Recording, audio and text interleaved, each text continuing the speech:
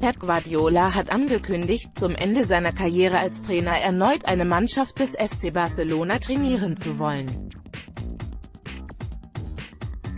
Der aktuelle Trainer von Manchester City meinte damit aber nicht die Profimannschaft, mit der er zahlreiche Titel in Liga und Champions League gewann.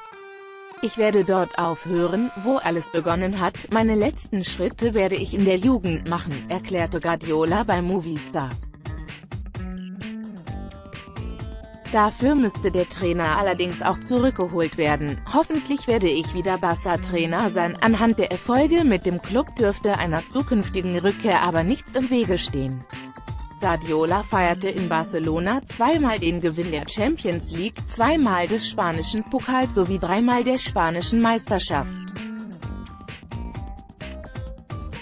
Guardiola stieg mit Barcelona B auf. Trotz aller Titel gab er allerdings an, am liebsten habe ich die Jugend trainiert.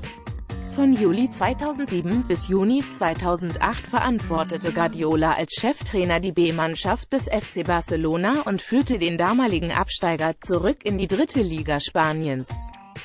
Wann genau Guardiola mit dem Ende seiner Karriere plant, ließ er bislang stets offen. Bei Manchester City steht der 47-Jährige noch bis 2021 unter Vertrag.